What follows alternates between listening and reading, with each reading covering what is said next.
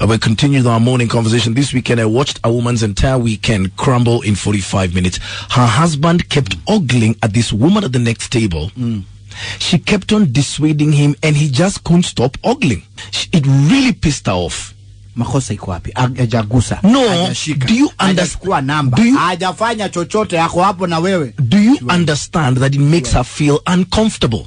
By the way, can you please educate your men girls that it's uncomfortable when he's ogling at this woman in your presence? When he's alone or when you're with your boys, it's okay. Ogle all you like. Eh. Eh. No, when you're with her. wanaangalia Let me just go to your SMSs here, Maina. It's so disgusting and disrespecting. It happened to me some years back, and you know what? That was the end of us. If we could do that in my presence, what happens in my absence? I've got dignity and I've got to protect it all the time. Absolutely.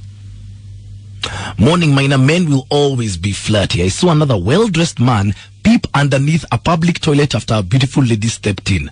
I even poured my soft drink I had on that imbecile and walked away. Came in from Kibra. Good.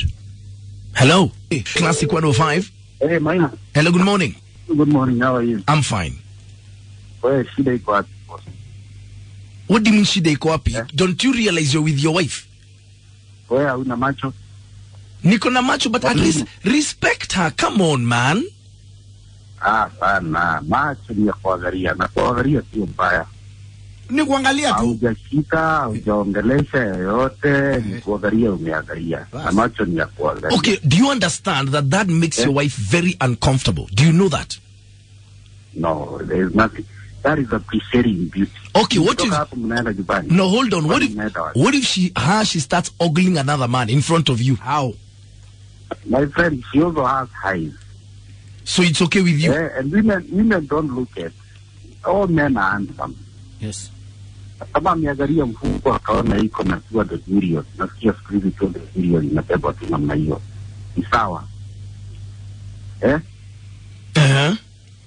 E, lakini lakini wasichana tunaangalia tu na macho na unaenda nyumbani basi yako na yeye mwalimu, eh, mnaenda pamoja. basi At the old men are handsome. You don't think your wife's ogle? Hello, Classic 105. Hi, Maina. Good morning. Uh, yes, I'm calling. How are you? I'm fine, thank you. I just wanted to tell you something. Yeah. Uh, you need to uh, to let uh, the ladies know. Just before I got married, Yeah. I went for a meeting with a, a counselor or an elderly lady, Yeah. and she told me Mm. Just be aware of this. Yeah. A man, whether a pastor, a reverend, a bishop, mm. akiona msichana mzuri ama mama mzuri he must stand and look at that woman it has nothing to do with the behavior of the man Mm. it is how the man is built and it doesn't matter who you are atamwangalia mpaka and you are seated in front of the car with him karibu agongeshe gari have you heard Yes. it doesn't matter whether he's a bishop, the reverend, or whoever it is, as long as it's the man. Mm. You look at that lady, mpaka hamuoni tena. Okay. Umesikia? Nimesikia. Okay, guy. How does that make you feel, girls? Hello. Hello, Maina. Good morning. Morning to you. Uh, Maina, Mm. uh, usually I, I agree with you in, in very many topics. Yeah. But on this one, I, I think you're applying double standards. How? Because, because what's the difference between a man ogling at another woman when he is with his wife and when he's doing it with his boys? Isn't that being hypocritical by telling men don't ogle in front of her? No, it's the, So it's, in it's, front of her, l- he'll listen, be pretending. it is disrespectful. It is I disres- understand. it is I disrespectful. understand. I understand it's disrespectful, but would you rather your wife thinks that you are this angel who does not look at any woman when you're with her? Okay. Thank you. Listen to this guy here. I check out other ladies in the presence of my wife and even comment.